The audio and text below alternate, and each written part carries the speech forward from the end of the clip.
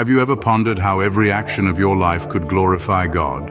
Well, let's dive deep into the heart of the Bible, verse 1 Corinthians 10:31. It reads, So whether you eat or drink or whatever you do, do it all for the glory of God. A powerful verse, wouldn't you say? This verse is not just about our religious activities, but about every aspect of our lives. You see, the idea behind these words is that every moment of our existence has the potential to glorify God. It's about living a life that's centered on Him in everything we do. It means to carry out our actions, whether big or small, in a way that reflects His love and goodness.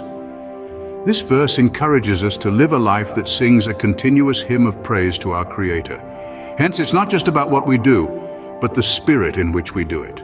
But what does it truly mean to do everything for the glory of God? The glory of God is a concept that reflects God's immense greatness and boundless goodness. It's about showcasing these divine attributes through our everyday actions. Whether it's showing kindness to a stranger, practicing honesty in our business transactions, or demonstrating patience during challenging times, each of these actions can mirror God's glory. And when we live this way, every deed, no matter how mundane, becomes an act of worship. In essence, every deed becomes an act of worship when done for God's glory.